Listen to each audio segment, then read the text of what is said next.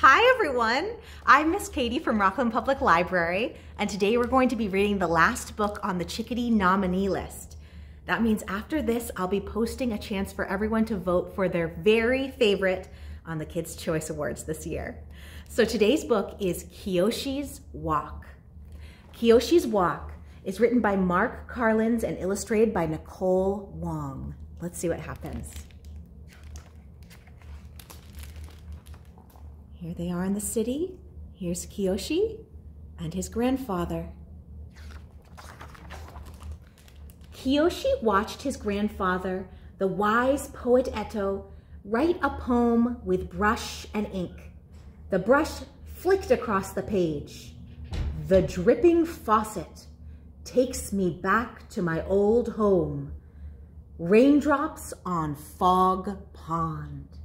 Do you see the poem right here? Here it is. It's one, two, three lines long. It's a haiku. The words made Kiyoshi smile. He wished he could make poems too. Where do poems come from? he asked. Eto put his brush and ink away. Let's go for a walk, he said. Oh, look, they're saying bye-bye to their kitty cat. Bye, kitty. He tucked his pen and paper in his pocket and took Kiyoshi's hand.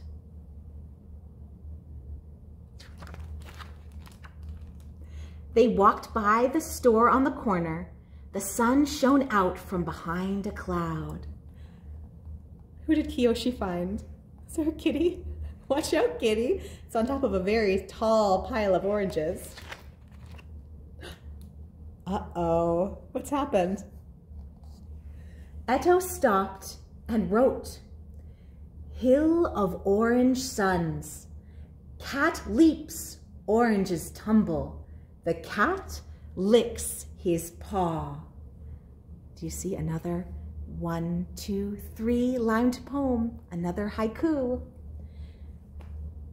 Kiyoshi felt puzzled. Wait, does this mean poems come from seeing things? They kept walking. Kiyoshi noticed the flower growing out of a crack in the sidewalk and a girl whooshing by on roller skates. Can you see them? They're very tiny, so it's hard to see. But here's the flower and the girl on roller skates. Then flap, flap, flap. At a noise, Kiyoshi and Eto looked up. Eto wrote, the sky calls to us, pigeons the whir of feathers. Our arms could be wings.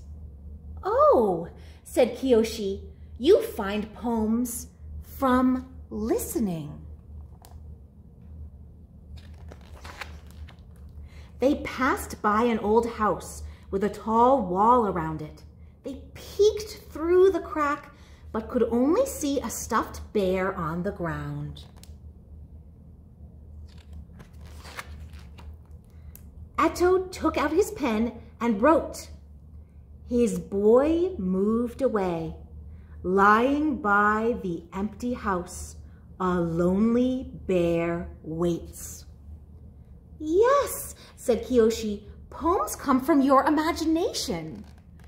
You see, they found this bear, but the grandfathers made up the story about who might have owned it. So what do you think? Do poems come from what you see? What you hear? What you imagine? Finally, Kiyoshi and Eto reached the river. Eto sat under a tree while Kiyoshi fed crackers to some of the ducks. He felt a damp breeze as the sun drifted lower. Two children reeled in their kites and left the park. Kiyoshi felt a little lonely. He told his grandfather. Eto wrote one more poem, his hand a shadow in the fading light. Dark sky, colored moon, back at home, his mother's voice. A tired boy dreams. I know something else, Kiyoshi said. Our feelings also make poems. The wind sighed through the leaves. A boat full of people floated past, its lights glowing on the water. Eto touched Kiyoshi's hand. Now, do you understand where poems come from? he asked. Kiyoshi thought for a few seconds. They come from here, he said, and opened his arms wide to take in the river and the sky and the distant buildings. And they come from here, he said, and pointed to his own heart. Yes, said Eto, they come from the way the two things, here and here, come together. He brought his hands close, touching one another. They sat for a moment in silence. May I write a poem? Kiyoshi asked. Eto nodded. Kiyoshi took a deep breath and he wrote, In the cool spring night, the wind's dance makes me shiver. Your voice keeps me warm. Eto wrote his grandfather's poem. Oh, eh, sorry, Eto read his grandson's poem and he smiled. Kiyoshi slipped his hand into his grandfather's. Under the streetlight, they began their long walk home, and everything there was a poem. The faces of the people, the sound of the river, the moon breaking from the clouds. The end. And there's a little note from the author in the back. It says, My own life as a writer began with poetry. I wondered, like Kiyoshi, how to find poems of my own and how to write them. Kiyoshi and Eto are both fictional characters, but their poems, called haiku, are a traditional form that originated in Japan.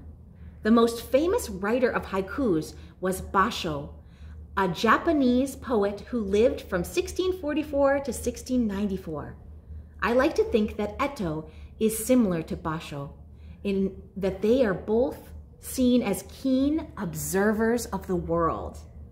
Haikus do not use rhyme. So we do a lot of a lot of poetry with rhymes, but these poems don't need to rhyme.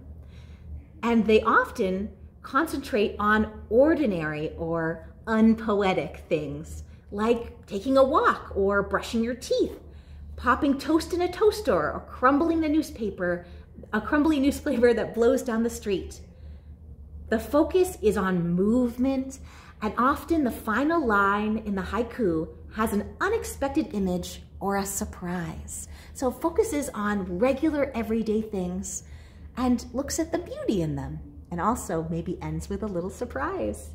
A haiku is always written in three lines. We saw that in the book, didn't we? Three lines of poetry.